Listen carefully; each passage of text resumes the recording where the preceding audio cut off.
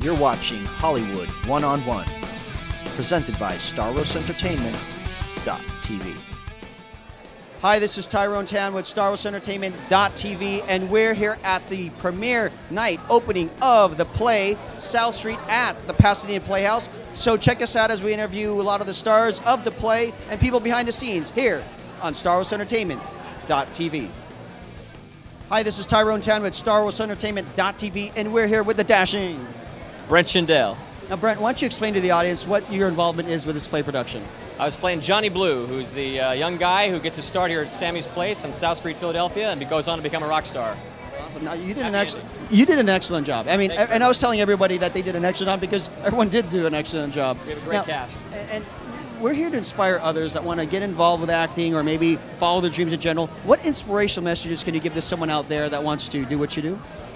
Well, if you love it, you got to do it, and uh, you got to do it wherever you can. You get the training wherever you can. Uh, find like-minded people that will help you uh, pursue whatever dreams you have, and, uh, and don't let anything stop you.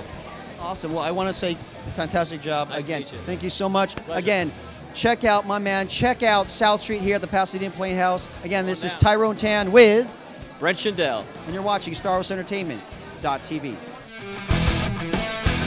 So check out more episodes as we interview a lot of the other stars and people here behind the scenes of South Street at the Pasadena Playhouse on Stauros Entertainment.tv.